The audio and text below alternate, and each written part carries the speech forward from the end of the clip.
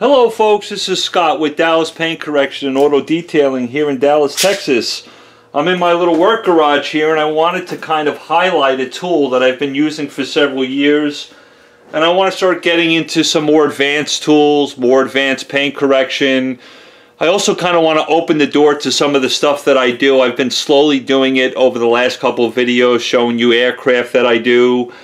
I want to try to get you guys into, if, if I can film, I do a lot of Learjet uh, aircraft detailing. It's a little bit difficult to do that in some of the larger airports that I work in because of FAA regulations. I have some high-end clients who actually you guys probably will know and I've actually talked to some of them and some of them are willing to get on video with me and kind of explain what they're looking for when they're looking for a detailer, whether it's they're detailing their large coaches, aircrafts, boats. I think it might be very helpful for some of you guys just starting out. I also want to show you some of my clients that I work for that I do limo detailing, limousine detailing. I have three clients that own, each client owns over five different limousines, big stretch limousines, black ones, white ones, in fact, over the next couple of weeks, I have a lot of my clients that I have to dial those limos in before we start getting into the cold uh, winter seasons here. Not that Dallas gets all that cold, but I'm going to bring you into some of the specialized detailing that I do on some pretty large objects. So maybe that will be fun for some of you. Uh, help you understand how I got these clients, how I maintain them, how I keep them and hopefully some of them will be able to get on video and kind of tell you what they're looking for when they're looking for a professional detailer. So that might be helpful for some of you guys that are either in the business now or been doing it for a long time or just getting into it. I want to highlight the Griot's Boss system because in my opinion, I love my Rupes. I have a uh, Mark II 21 millimeter Bigfoot Rupes and I love it. I'm not really keen or in love with their compounds and polishes that they have. Some of their pads are okay. I'm really in love with what Griot's has been doing for the last couple of years, and I want to highlight it in this video. What I have here is the Griot's Boss um, DA, dual action polisher. It's the large stroke, but it's the 15 millimeter. There's a personal preference for just about everybody. I like a 15 millimeter throw. I'll get into that in, in, later videos, but I just wanted to highlight the tool. Regardless if it's 15 millimeter or 21 millimeter, the highlights of the tool are pretty much the same, and it's one of the things I want to talk about in this video. What Griot's is doing, which I really love, is not only do you have a great machine that comes along with it, but they've got some pads. Their pads are not the greatest things in the on the planet. They're adequate. They'll get you going. They'll give you some really nice paint correction. There are better pads out there, but I like this system, so I want to include the pads in it with this video. What I do love, and you guys have heard me talk about this a lot, they have four different kind of compounds and polishes within their system, and every one of these four products, as far as their compounds and polishes are concerned, they're knockouts. They're really, really great. They're using submicron technology, really great lubricating oils within them that give us some really nice results, long working time, very low dusting, which is important to me as a mobile detailer. Sometimes I'm working in direct sunlight, so I'm looking for compounds and polishes that give me an advantage of not dusting so much. So if you notice here, Griot's has their finishing sealant. This is kind of like they're all in one. It's a finishing sealant, might be a little uh, deceiving, but this has the ability to remove light swirls and scratches plus lay protection down. Now on the bottle, what's so great about their system and really great for beginners as well, the finishing sealant, it's their Boss system. It shows a little black pad, right? It shows a little black symbol of a pad. That's because their system has a black pad, so they want you to team up the black pad with their finishing sealant. That's pretty cool kind of takes the guesswork out of it if you're a beginner. Now, they also have their next step in aggressiveness is their perfecting cream. This is like a light polish. This is really nice, works well. A lot of lubrication under the pad, gives you long working time, and it finishes out exceptionally well. Leaves a lot of clarity, nice gloss and shine. With this particular perfecting cream, they show a little yellow pad on the on the label. That's because you're going to use a yellow pad with it. For, for beginners, that's probably, again, a great way to kind of learn the system and use it with the pads that they wanted you to use it with. You should be, you should get some really nice, great, you should get some great results with it. The next one up is the correcting cream. This is probably, between the correcting cream and the fast correcting cream is probably my two favorite compounds within the group. This correcting cream is amazing. It gives you really, really nice, uh, I would say moderate defect removal. You remove swirls, holograms, fine scratches off the paint.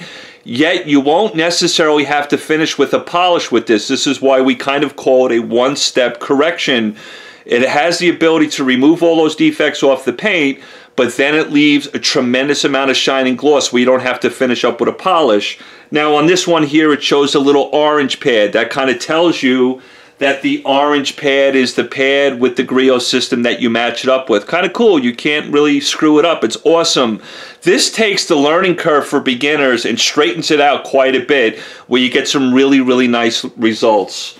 Now, the fast correcting cream, which happens to be one of my favorite compounds for deep defect removal. It's fast correcting cream by Griots. I like Menzerna FG400 and I also like Jescar Heavy Cut and I'll get into those in another video, but I want to focus on Griots. Their fast correcting cream is phenomenal. There are certain paints, not all paints, that you can actually go after deep defects and you don't have to finish up with a polish. It's a little rare, but it can happen.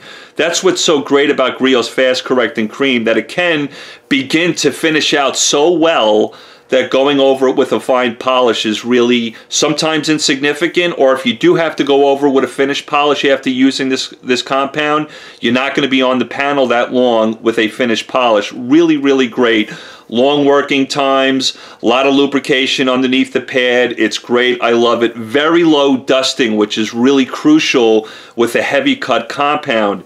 Now this particular system they want you to use a white pad. I'm sorry I've never bought the white pads with it I typically use this with an orange medium cut cutting pad or I'll use it with a microfiber pad and I don't necessarily like Griot's microfiber pads. I use Meguiar's but again their, their compound, the fast correcting cream is phenomenal. You can't go wrong with this stuff. But as far as the tool is concerned, which is the big focus of the, the video, the Boss tool, this happens to be the G15. I'll talk about the G21 in another video. But it's a 15 millimeter throw. Basically, they're small little griots dual action polisher, the six inch, I think that's eight millimeter throw. So it's almost twice the throw, which is going to give you, if we do the math, it's like 87% or 85% more correction in the period of time that you would use the six inch um, dual action polisher by Griot. So you're going to cut your paint correction down in half, which is really nice. What's great about this machine they say it weighs about five pounds. I want to say they're a little off there, but maybe it is. I've never weighed it. It feels a little heavier than that, but it's it, it's really comfortable. I love this. I think his name is Jeff Brown with um, with Griots. He talks about he calls it the platypus head. This head on the top of this long throw polisher is really nice. It's very soft, very comfortable, got a nice rubber grip to it. I like it when you're doing long paint corrections on a very large vehicle. It's very comfortable on the hand. The speed dial is right here by your thumb, which is great. And what's really nice with it, it's audible. You can hear it when you click it from one to two or one to one and a half to two. Let me see if I can catch it on the on the camera. Can you guys hear that? That's kind of nice. So you know where you are with one, then you click to one and a half, then you click to two, you can hear it. It's audible to you and you can feel it under your finger. There are some other polishers, I'm not going to beat them up because I like them and I'll talk about them in the future, where they're awfully uh, finicky. They just slide. You don't really know where you're at unless you're looking at the dial and you want to see what the number's at. It's not a big deal, but I just kind of bring it out there because I like the speed dial. The other thing is it's got a nice lock button on the side. Is if you're right-handed, which is which is kind of interesting. I think they should make a left-handed version of this because if you're left-handed, the lock button's going to be on the wrong side for you because if you're right-handed, the lock button's right here for my thumb. If you're left-handed, it'd be nice if they had a button on this side. I'm thinking about you left-handed guys that would hold the bottom of the polisher, the trigger part of the polisher with your left hand. Then the then the um, the lock button for the trigger is going to be in an odd place for your left-handed people, but um, overall, it's still a great design, feels great. I love the fact that, you know, if you're working on a panel, if you're working on a panel and say this was vertical and it was standing up like this and you got your one hand up here by the platypus head, you can, you can hold the body of the polisher once you've got the trigger in lock. And it's got some nice rubber grips on it to make that comfortable for you during the process of doing some paint correction. Really nice design there as well. It stays relatively cool when you run it. This versus the Rupes, this is a little bit, I want to say this just slightly a little bit more vibration with this than the Rupes. It's also maybe a tad bit heavier than the Rupes, but one of the things that Griot's does really, really well with their long throws, this has more power meaning it's got more torque, it's got more power. It doesn't want to stall on you when you come across body curves as much as the Rupes. Doesn't mean the Rupes doesn't have a place. It's a fine machine. But in my opinion, the Griot's has just got more, I hate to use the word, it's got more balls, it's got more, it's more of a workhorse in my opinion, and that's why I love it. And again, the trigger's on the bottom, really nice to work with. One of the things that's great about the trigger Let's say you had it on speed four or five and you're doing some paint correction and you come off the panel and you want to add more product to your pad before you go to your next two by two area. What's really nice about Griot's is they gave you a var variable speed trigger. So even though it's on speed five, it's not like I squeeze this thing and it instantly goes to the, the maximum level of speed five. I can control it with the trigger, watch.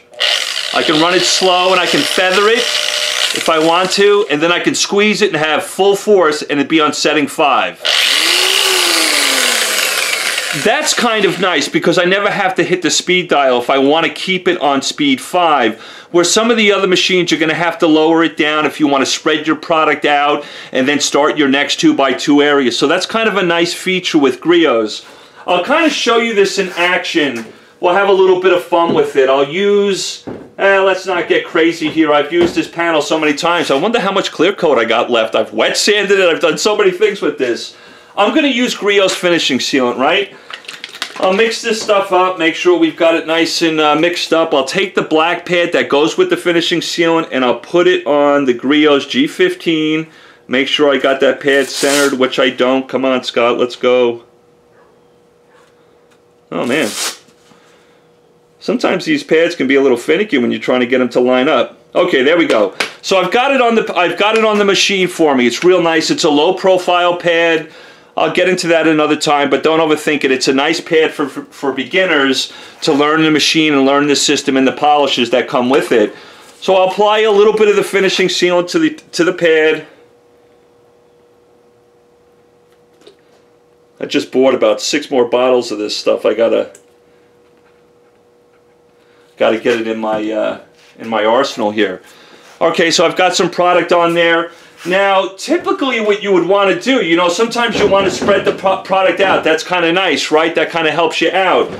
But the fact on a finishing sealant like this, you guys will kind of learn this as you go with these machines. I'd, I'd run this finishing sealant on speed 4 if I'm trying to remove, excuse me, swirls and scratches off the paint but I'm going to leave the dial on 4 because that's where I want to be through my process. But I'm going to feather the trigger, use the fact that it's got var variable speed to kind of spread out my product.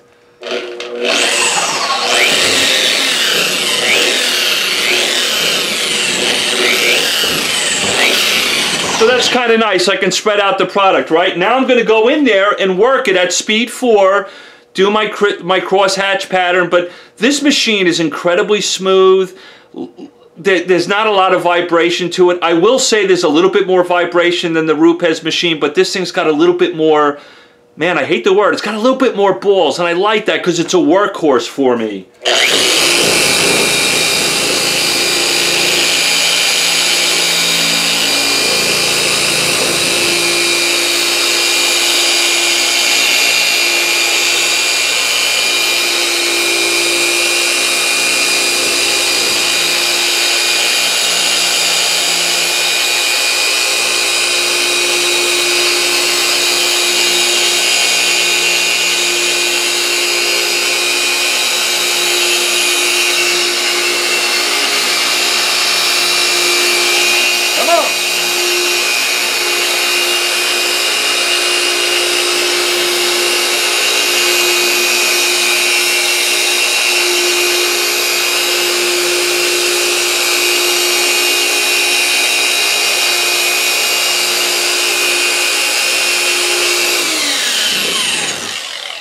Like it. It's really nice and smooth, very comfortable to work with. I think you guys will like it. I'll go in and kind of pick up that product. The, the finishing sealant by Griot's is good.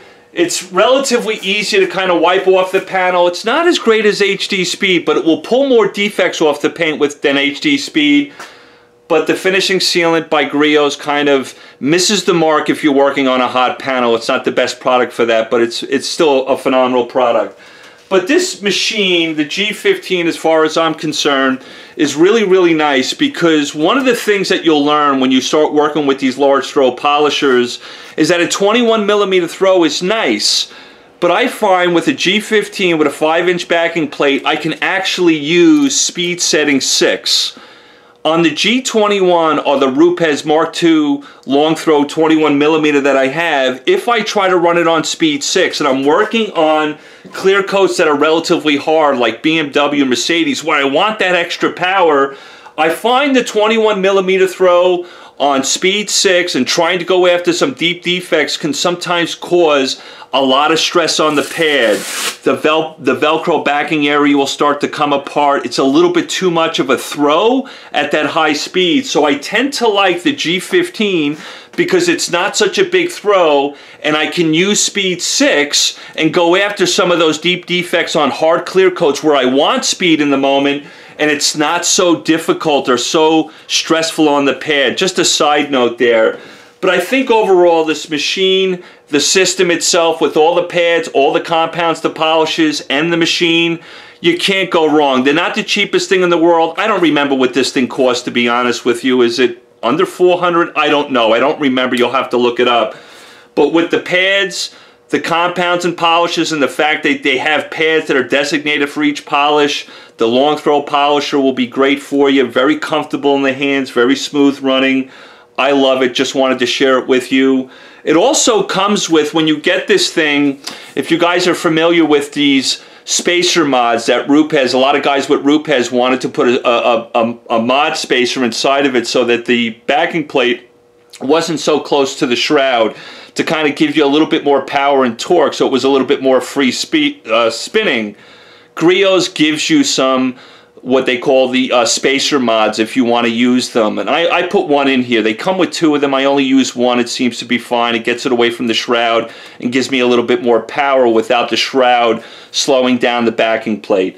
But overall, well, well-built machine, really comfortable, nice. I think it's great, plus all the polishes and the pads.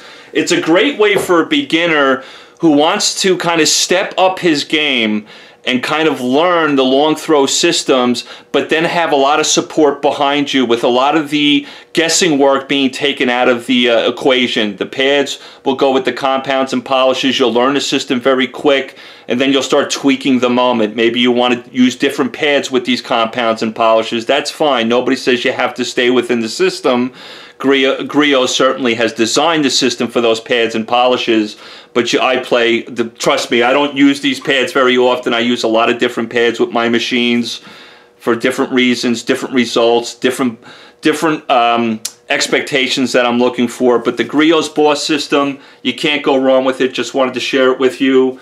The pads, the compounds are phenomenal. It comes with, uh, I don't remember where the chart was. It comes with a chart that kind of shows you more aggressive, less aggressive, how you can match up these pads and compounds and what speed you want to put the machine on, which is really nice for, for beginners to kind of have a nice foundation for them when they step into using these type of tools. Griot's really goes over the top to kind of get car enthusiasts, car enthusiasts and beginners into using these types of machines. These machines aren't that scary. They're going to give you better correction in a short amount of time versus the dual action polisher by Harbor Freight or the dual action 6 inch orbital from Griot's themselves. These machines are great. They have their pros, they have their cons, but you can't go wrong with the Boss system. I think it's one of the best systems out there when it, when it comes to the long throws that are out there on the market. I love you all. Just wanted to share that with you. Sorry it's a 19 minute video, but a lot of stuff to know. If you guys have any questions about the machine, send me a message. I'll try to get to you as soon as I can. I can tell you for under $400, whether it's the G15 or the G21, your, your, money's going to be well spent. If you're looking at the Rupes, that's fine. The Rupes is a little lighter, got a little bit less vibration. I just find, even with the Mark II and the, and the 21 millimeter I have, I get more power out of the griots. That's just my personal opinion. The, the griots, the griots uh, Boss machine, the, the, the long throws are, in my opinion, are a little bit more they're a little bit better on hard clear coats because I can really ramp up the speed and they don't stall as much on me. I just feel like give they give me more power when I need it. But the Rupes machine is beautiful. I'm going to show you in the future the Rupes machines, the polishes, the compounds, and all that stuff that comes with it. And then you guys can kind of make a choice. But the Griot system, you cannot go wrong. I love you guys. Talk to you soon.